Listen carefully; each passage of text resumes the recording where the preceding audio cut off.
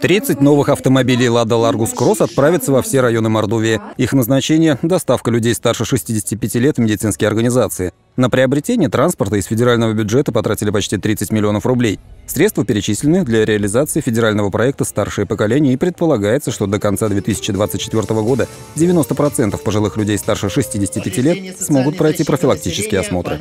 Получив эти ключи, мы сделаем наши мобильные бригады еще мобильнее.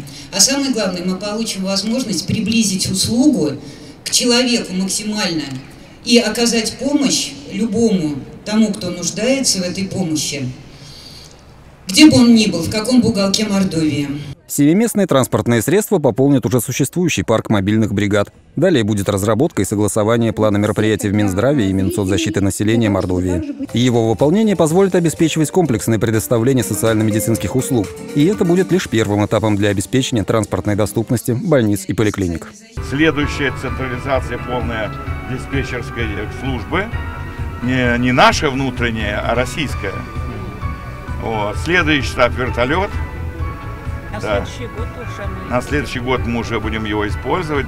Об использовании малой авиации говорила и министр здравоохранения Вероника Скворцова на недавнем видеоселекторном совещании. Она отметила, что доступность медицинской помощи может быть обеспечена жителям каждого населенного пункта лишь при создании единой скоординированной региональной системы здравоохранения. Я считаю, это, безусловно, улучшит здоровье граждан наших и увеличит э, продолжительность их жизни.